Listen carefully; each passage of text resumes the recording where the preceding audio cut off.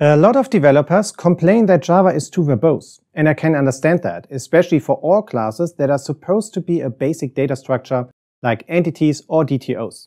So it was no surprise that I got a lot of questions about JDK's records feature and how you can use it with Hibernate. Hi, I'm Thorben Janssen and I solve Java persistence problems for a living. In this video, I will show you how you can use Java records with Hibernate and JPA, even though you can't use them as entities. But before we proceed, if you're new here and you want to learn how to create your entity mappings with ease, build incredible efficient persistent layers with Hibernate and Spring, and all types of other Java persistence related stuff, subscribe and click the bell to get new videos every week. Let me immediately answer the two most common questions before we get into the details. Yes, Java records are a great fit for your persistence layer.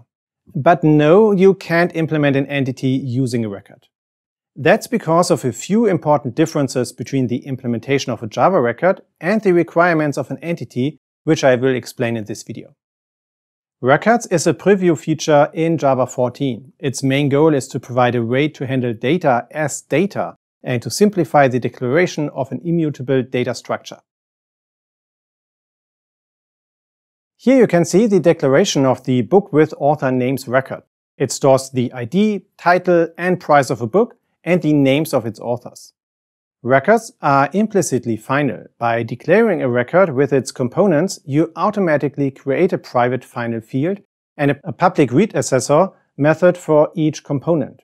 A Java record also provides you with a constructor that initializes all of its fields and implementations for the equals, hashcode, and toString methods. As you can see, records are a straightforward and clean option to implement a read-only data structure. But as I will explain in the next section, some of the features that make a record easy to use also make it impossible to implement an entity with it. As I explained in the JPA for Beginners online course, a JPA-compliant entity needs to fulfill a few simple requirements. It needs to be annotated with entity, have a public or protected parameterless constructor so that the persistence provider can instantiate objects when mapping query results, be a top-level class, not be final so that your persistence provider can generate proxies, for example, to offer lazy loading for to-one associations, declare one or more attributes that identify the entity object, map database columns to non-final attributes, and provide getter and setter methods to access these attributes. If you're implementing your entity as a standard Java class, these requirements are easy to fulfill. But the four requirements that are highlighted make it impossible to implement an entity as a Java record. Records don't support a parameterless constructor, and they are final, which entities are not allowed to be. The fields of a record are also final, and their accessor methods don't follow the required naming schema. As you can see, you can't implement a JPA-compliant entity using a Java record. Hibernate's requirements are not as strict as JPA's requirements. Hibernate can persist final classes and doesn't require any accessor methods for mapped entity attributes. But it still requires a default constructor and non-final fields. All of this makes it impossible to use a Java record to implement an entity. But it's a good fit for a DTO projection, which is often used as a read-only representation of the data stored in your database. DTOs are the best projection if you don't want to change the selected information. They provide better performance than entities and allow you to decouple your domain model from your API. The best way to instantiate a DTO projection is to tell Hibernate to map the query result to a DTO object. You can do that using a constructor expression in JPQL and the Criteria API. If you want to map the result of a native query, you can use an SQL result set mapping. All three of these approaches tell Hibernate which constructor it has to call and which parameter values it shall provide. If you prefer a more flexible approach, you can use a Hibernate-specific result transformer.